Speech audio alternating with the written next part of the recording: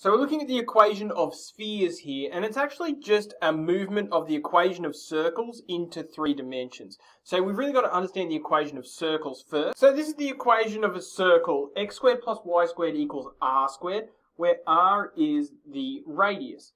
Now, this is really just an application of Pythagoras' theorem. What we're saying is there must be an x value and a y value such that when you square them both and add them together, you get this hypotenuse. Now we hold that hypotenuse steady, so let's make it something simple. An example, x squared plus y squared equals 2 squared, so 4.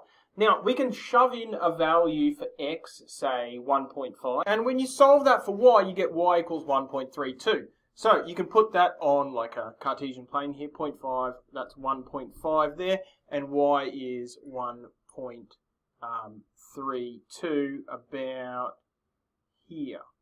Right, and you could do that for an infinite number of x values um, that are all between 2 and negative 2, and shove them all in there, and you get a bunch of dots around a circle, right? So that is what the equation of a circle is. It's a relationship between x and y based on Pythagoras' theorem.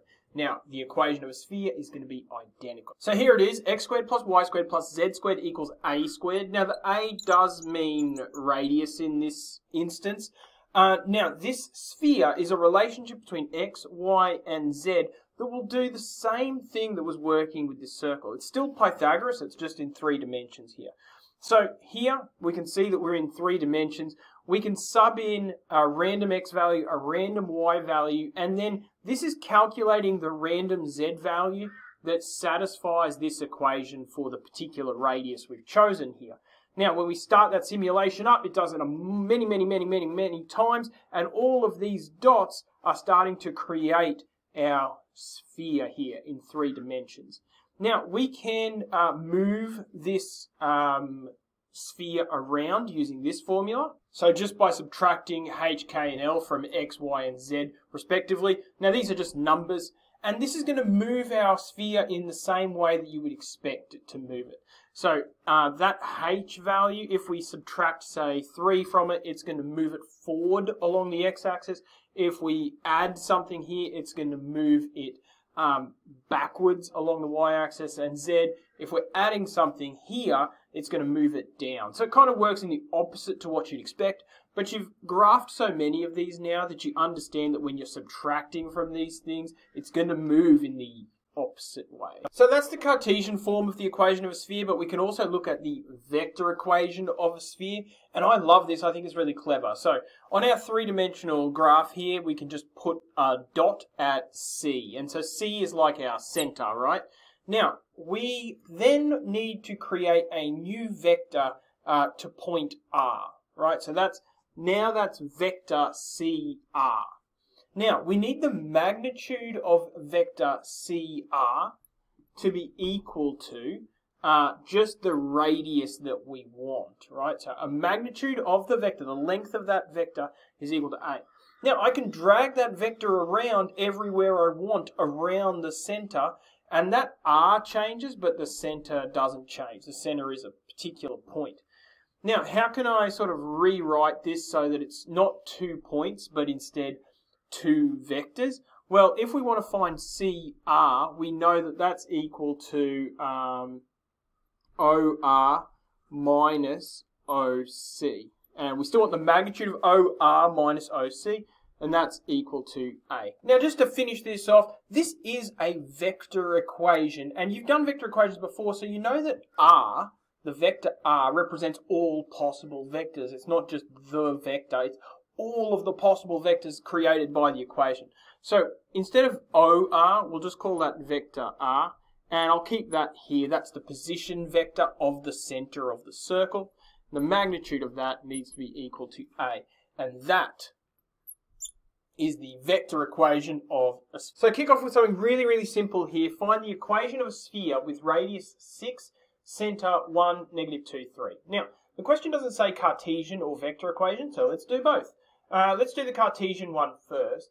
So we want x minus something. All right, so it's positive 1x. So I need to do minus 1. I need to do the opposite of what you might think. plus y, I need to do minus 2, so I need to add 2 there, squared, plus z, 3, so I need to do minus 3, opposite of what I might expect, and then I need 6 squared. Now, I can leave it like that, but since I've got that 6 squared there, I can maybe change it to just the number 36. Alright, that's the Cartesian form. What about the uh, vector equation form? Well, it's pretty simple. It's the magnitude r minus all of this bit here, all of the position vector of the center. So it's minus i minus 2j plus 3k.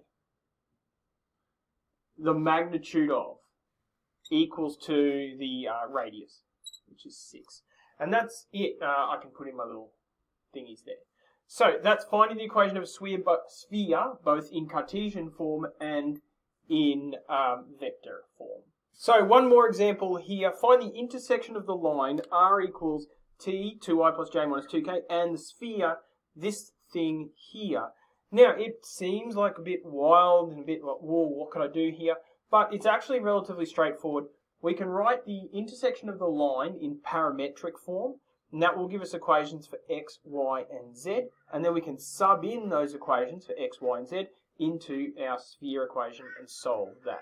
So, first of all, let's write that in parametric form. Alright, so parametric form, x equals 2t, y equals just t, and z equals negative 2t. Subbing those in for x, y, and z, we get something that looks like that.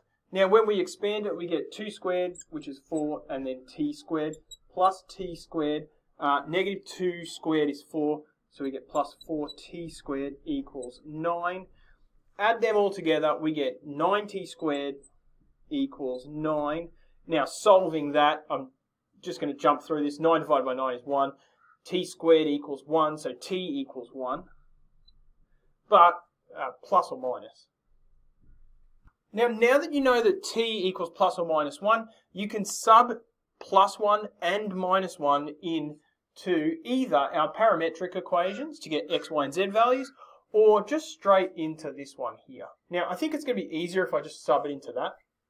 So now I can say that r equals uh, 1 times all of that, which is just going to be uh, 2, 1, negative 2, right? 1 times 2 is 2, 1 times 1 is 1, 1 times negative 2 is negative 2. If I do um, negative 1, if I put negative 1 there, I'm just going to get all of that in reverse. Negative 2, negative 1, and 2. That, are, those, sorry, are my two intersection points. Uh, which, when you think about it, a line passing through a sphere, there are going to be two intersection points as it pops in one end of the sphere and out the other end of the sphere unless it's creating what's called a tangent to the sphere and it's just touching it, then they're only going to have one intersection point. All right, I've covered a lot there, uh, but that is the equation of spheres.